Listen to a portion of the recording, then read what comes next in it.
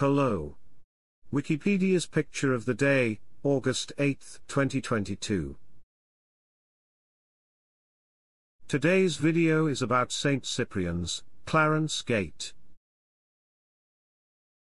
St. Cyprian's, Clarence Gate, is a parish church of the Church of England in the district of Marylebone in London.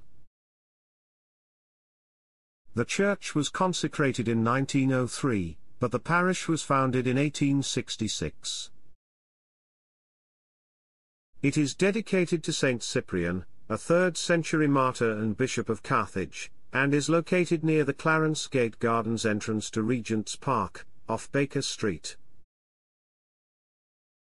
The parish was formed by the efforts of the noted slum priest Charles Gutch, who wanted a church of his own in London.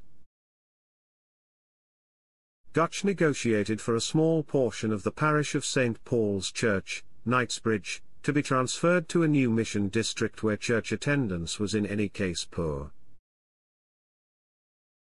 The district was about one-tenth the area of the parish, but it was densely populated due to the overcrowded slums that at that time occupied much of it.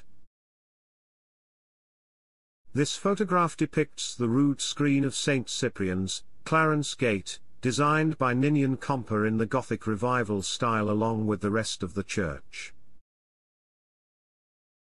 Thanks for watching. And don't forget to like, comment, and share.